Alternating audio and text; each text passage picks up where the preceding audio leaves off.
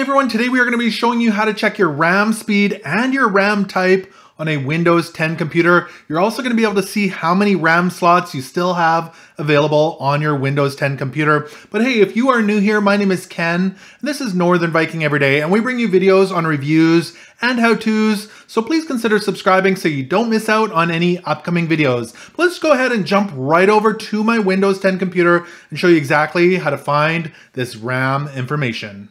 All right, so here we are on my Windows 10 computer, and the first thing we need to find is the Task Manager here in Windows 10. And in order to do that, we need to go down to the taskbar at the very bottom and right click in an open area. So not where any of these icons are, we need to find an open area here and you would right click with your mouse. So not left click, but right click.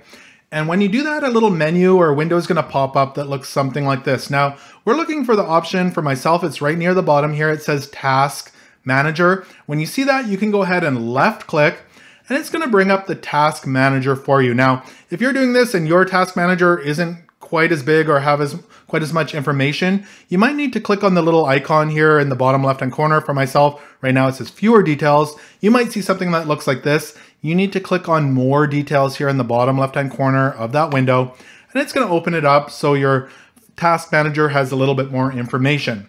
Now let me expand this here so we can see it all a little bit better.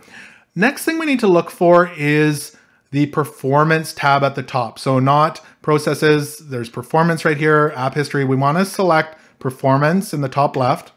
It's gonna bring up a window that looks something like this where you can see different aspects of your computer. So the first one here is CPU, we've got memory, disk, etc. So we wanna go ahead and left click on memory here on the left-hand side, and that's gonna bring up the RAM information for our Windows 10 computer.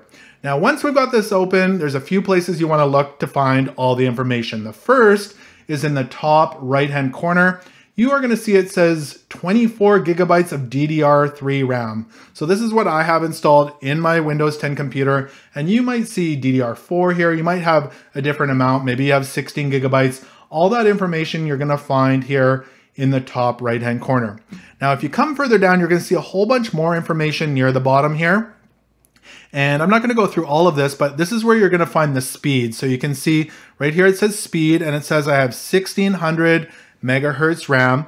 So you can check that right there. And the one right below it for myself, it says slots used. And you can see I'm using four of four RAM slots in my motherboard. So maybe if I only had two RAM chips in there or two sticks of RAM, it might say two of four, and then I would know I had two more spots to add extra RAM. But right now I'm using up all four slots for RAM. And it's really that simple to find how much RAM you have here in Windows 10, what type it is, so DDR3, the speed, as well as how many slots are being used.